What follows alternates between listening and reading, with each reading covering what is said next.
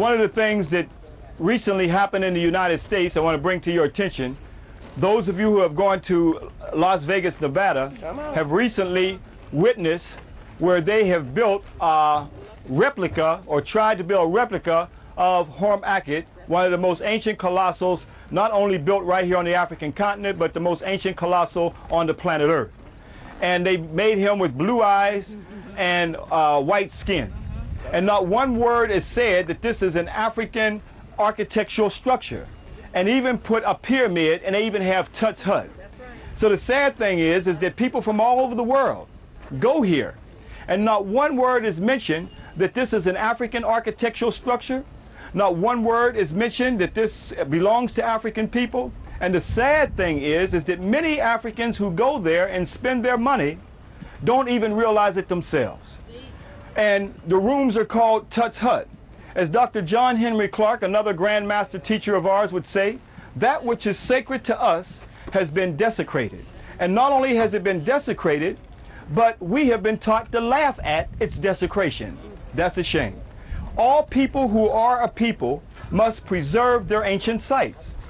For us to be a people, we must have something that is ancient that belongs to us.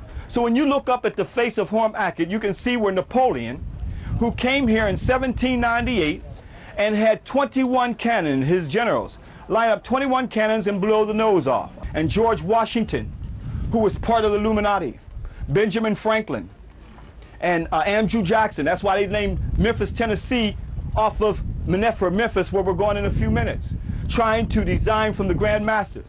So they know they were stealing the people from the African continent and stealing the knowledge as well. So let's go up on the high wall and see more of Horemakhet and deal more in depth with the history, the true history of this Grand Master who came up out of pre-dynastic Egypt. Not the fourth dynasty, but pre-dynastic who was part of the real Horus king who was deified as a god. The first deification as God as a man. Tell it, brother. Tell it like it is, man. Tell it, Horemakhet. This is something, something to behold. Mm-hmm. Oh, your trip it hasn't even begun yet. I, I know. I just, I'm and just went to overwhelmed. America and brainwashed the people to death. That's no Well, they had. Well, how do you keep a people slaves? That's right. You got to take away their story. You got to take away what is sacred to them, and then you and desecrate they, it. st- and they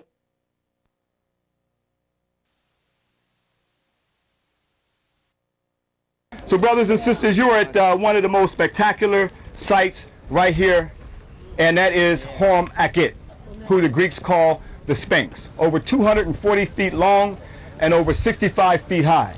Keep in mind, if you look at his ears, six feet tall, that means you can stand inside of his ears.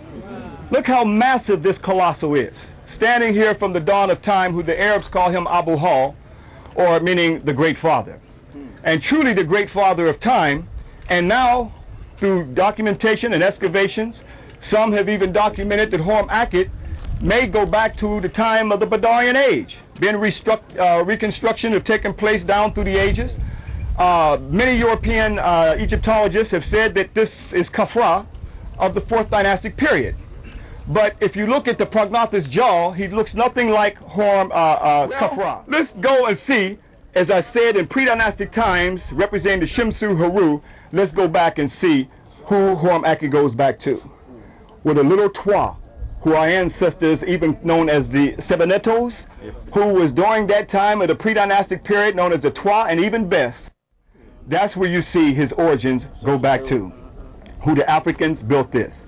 So here we have all proof and documentation of where the origin of Horm and all who comes before him, like the Europeans you see here, have to look up at this and see the beginning when Napoleon was documented in Los Angeles Times, documented in Los Angeles Times, that when Napoleon visited the Sphinx in 1798, everything but the head had been buried in sand, although his uh, soldiers reputedly used the head for target practice. But we know it's a new day today, and it's the first day today. So you may not grasp where you have been until you go back and lay your eyes down and Horemakhet come into your sleep. When Horm digs deep down into your uh, what they call REM sleep and come up and said, you came back to visit me. But here you, where the kings came between the pole where you get the grand master's grip of the